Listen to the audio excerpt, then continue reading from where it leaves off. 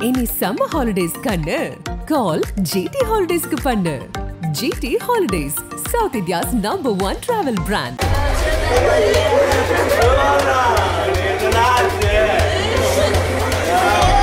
தலித் இளைஞரை காவு வாங்கிய கூட்டம்.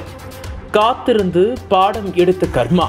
நீதிபதி கொடுத்த அதிரடி தீர்ப்பு. எட்டு ஆண்டுகள் கழித்தும் கதரும் கொலையாளிகள்.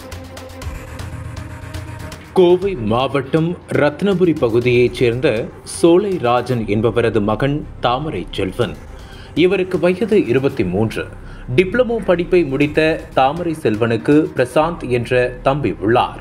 தாமரை செல்வனுக்கும் அதே பகுதியைச் சேர்ந்த மற்றொரு தரப்பு இளைஞர்களுக்கும் இடையே பள்ளியில் இருந்தே தகராறு இருந்து வந்ததாக சொல்லப்படுகிறது.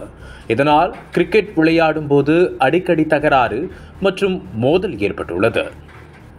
இதனிடையே பிரசாந்த் தனது நண்பர் ரமேஷ் என்பவருடன் டூ வீலரில் சென்று கொண்டிருந்த போது வழிமறித்த இருவர் பிரசாந்த் மற்றும் ரமேஷின் சாதி பெயரை கூறி இழிவாக பேசியதோடு தலையில் தாக்கி எச்சரித்து அனுப்பியுள்ளனர்.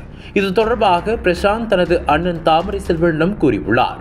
உடனே இது தொடர்பாக பிரசாந்தின் சகோதரர் தாமரை கண்ணன் அப்பகுதி இளைஞர்களை தட்டி கேட்டுள்ளார். இதனால் ஆத்திரமடைந்த எதிர்தரப்பு இளைஞர்கள் கார்த்திக் மற்றும் மகேதரன் ஆகிய இருவரும் தங்களுடன் கிரிக்கெட் விளையாடும் நண்பர்களை இணைத்துக்கொண்டு கடந்த இரண்டாயிரத்தி பதினாறாம் ஆண்டு ஏப்ரல் மூன்றாம் தேதி இரவு சின்ராஜ் நகர் புற்றுக்கண் மாரியம்மன் கோவில் அருகே நண்பர்களுடன் பேசிக் கொண்டிருந்த தாமரை செல்வன் மற்றும் பிரசாந்த் ஜெகதீஷ் ஆகிய மூவரையும் பயங்கர ஆயுதங்களுடன் சூழ்ந்துள்ளனர். அப்போது மூன்று பேரையும் கத்தியால் குத்திய கும்பல் தாமரை செல்வனை மட்டும் விரட்டி சென்றுள்ளது. உயிருக்கு பயந்து அருகே இருந்த வீட்டில் நுழைந்த தாமரை கண்ணனை அந்த கும்பல் கொலை செய்துள்ளது. இது தொடர்பாக அப்பகுதியைச் சேர்ந்த தல விக்கி என்பவர் உட்பட பதினான்கு பேர் மீது கொலை மற்றும் எஸ்சி எஸ்டி வன்கொடுமை வழக்கு உள்ளிட்ட ஆறு பிரிவுகளில் வழக்கு பதிவு செய்யப்பட்டது.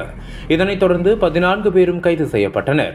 கடந்த எட்டு வருடங்களாக நடைபெற்று வந்த இந்த வழக்கில் கோவை எஸ்சி எஸ்டி சிறப்பு நீதிமன்ற நீதிபதி விவேகானந்தன் இன்று அதிரடி தீர்ப்பு வழங்கினார். கொலை செய்யப்பட்ட வழக்கில் கைது செய்யப்பட்டுள்ள பதினான்கு பேரில் ஜெயசிங் என்பவர் வழக்கு நடந்து கொண்டிருக்கும் பொழுதே உயிரிழந்துள்ளார்.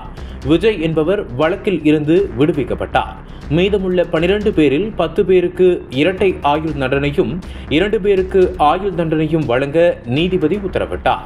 இதில் தொடர்புடைய விக்கி மகேந்திரன் கார்த்திக் கவாஸ்கான் சுரேஷ் பிரகாஷ் நவீன் விமல் கௌதம் கலைவாணன் ஆகியோருக்கு இரட்டை ஆயுள் தண்டனையும் கிறிஸ்டபர் மற்றும் கருப்பு கௌதம் ஆகிய இரண்டு பேருக்கு ஆயுள் தண்டனை விதித்து கோவை எஸ்சி எஸ்டி சிறப்பு நீதிமன்ற நீதிபதி விவேகானந்தன் தீர்ப்பு வழங்கினார்.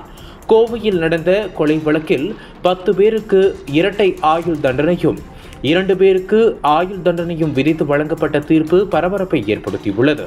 இந்த வழக்கில் கைது செய்யப்பட்டுள்ள கௌதம் என்பவர் ஏ பிளஸ் ரவுடிகள் பட்டியலில் இருப்பவன் என்பது குறிப்பிடத்தக்கது.